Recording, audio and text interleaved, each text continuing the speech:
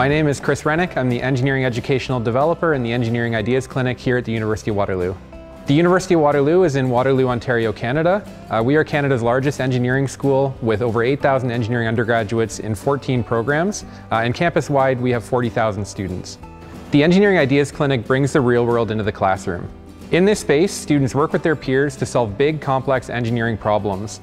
Because of the pandemic, this space isn't that busy right now. Normally we'd have over 200 students working together on discipline-specific problems um, that really relate their engineering content to the real world. The Brock Solutions Industrial Automation Hub takes this a step further.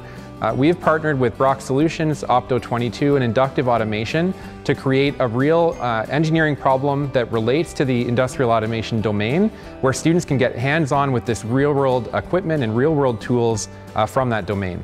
This project is relying on Brock Solutions' uh, expertise in moving uh, baggage around airports. So we're trying to kind of capture a feeling of that problem in a setting that can work in the classroom.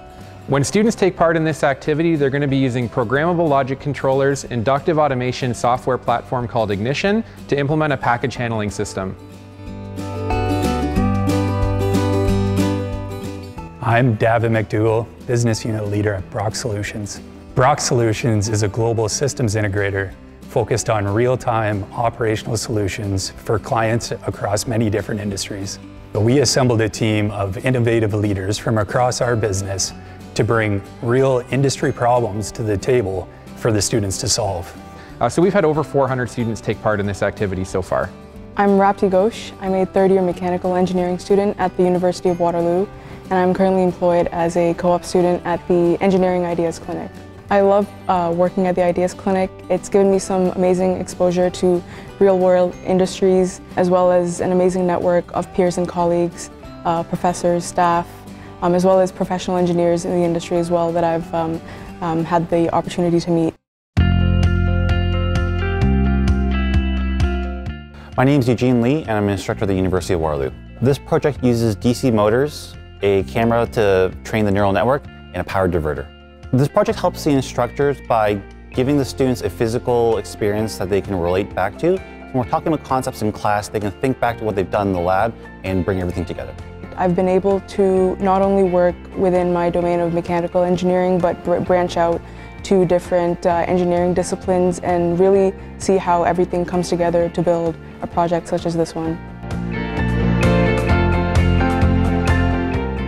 I'm Kevin Lee. I'm a second year student at, in computer engineering at the University of Waterloo and I'm employed at the Engineering Ideas Clinic. It has always been my dream to go to this university since I live in this area and it's the best engineering school in Canada.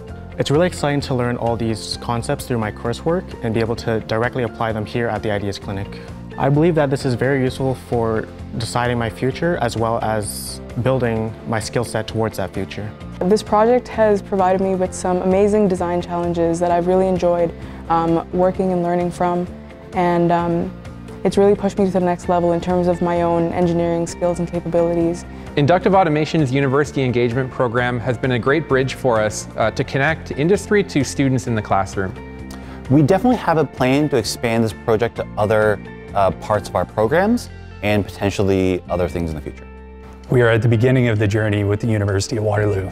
It's really exciting to see the innovative solutions that the students are bringing to this project. I really thank um, Inductive Automation, Brock Solutions, and Opto22 as they've been really instrumental in helping this project um, get going and I've really appreciated their insight and I'm just really enjoying myself uh, working on this project.